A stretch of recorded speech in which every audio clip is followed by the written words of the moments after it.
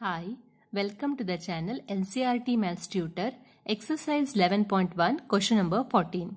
Find the equation of the circle with center 2, 2 and passes through the point 4, 5. So here they have given two values center as well as the passing through point. Now consider a circle with the center 2, 2 and the passing through point. Let us say that it is somewhere over here 4 comma 5 now here the distance between this point and this point is nothing but the radius. So to find the radius of this circle you can use the distance formula or directly you can substitute center and passing through point value in the general equation of the circle. So we know that the general equation of the circle is x minus h whole square plus y minus k whole square is equal to r square. Now here put h comma k value as 2 comma 2 and xy value as 4 comma 5.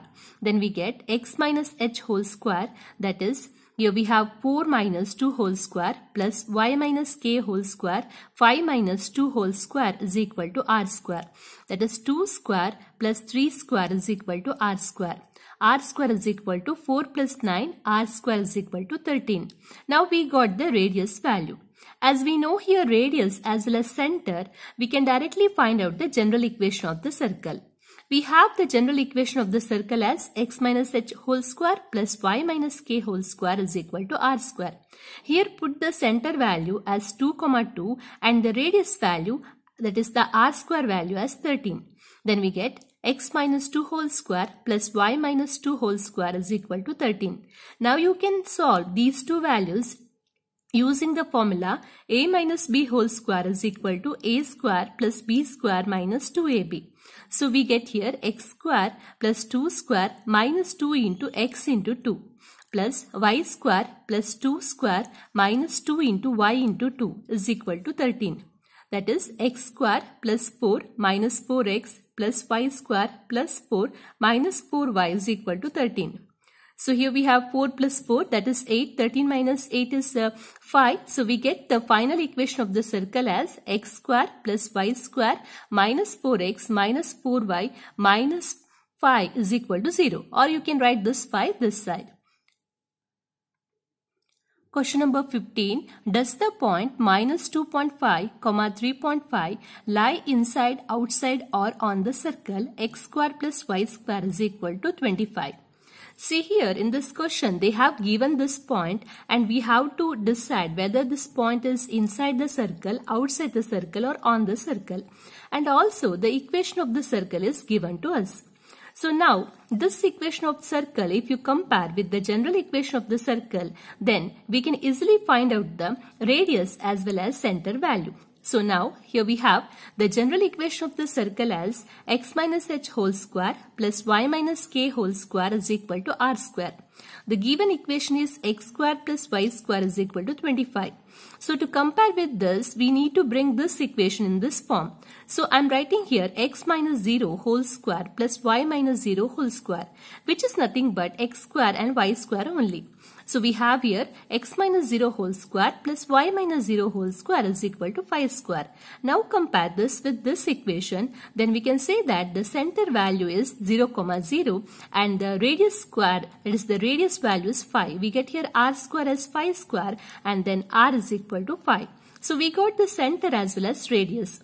Now as we know the center as well as radius, we can easily find out that whether this point is inside the circle, outside the circle or on the circle. To find out that there are three cases.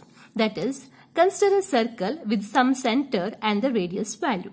Now see, let us say that uh, we have some point. Let us say that that point is some C which is located inside the circle. Then see if you compare this AC distance and this AB distance.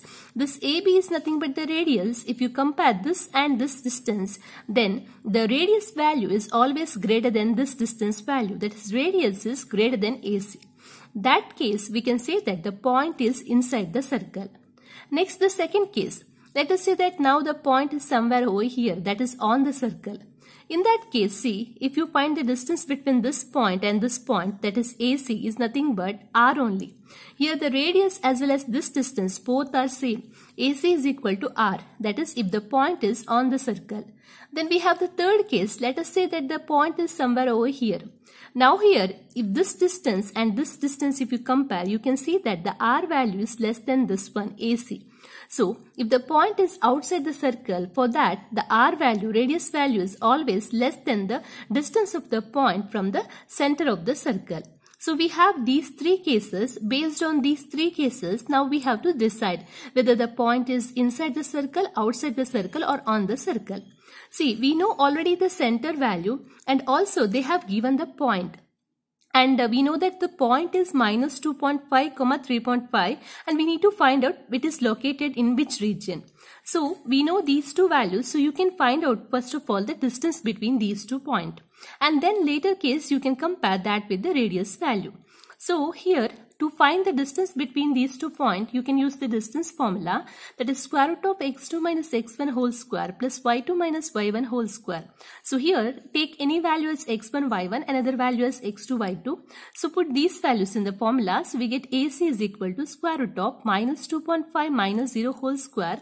Then um, here we have uh, 3.5 minus 0 whole square that is square root of minus 2.5 whole square plus 3.5 whole square that is square root of 6.25 plus 12.25 that is AC is equal to square root of 18.50. So AC square is nothing but 18.5. We got the AC square value and also in the question from the general equation of the circle question, we have already got the r square value that is 25. Now if you compare this value with this, here see r square value is greater than AC square. That is 25 is greater than 18.5. That means definitely r is greater than AC. So if the radius of the circle is greater than the distance of the point from the center, then what we can say, then we can say that that is the first case, the point is inside the circle. That is for this case. If the point is somewhere over here, that is inside the circle, for this the radius is always greater than the distance of the point from the center of the circle.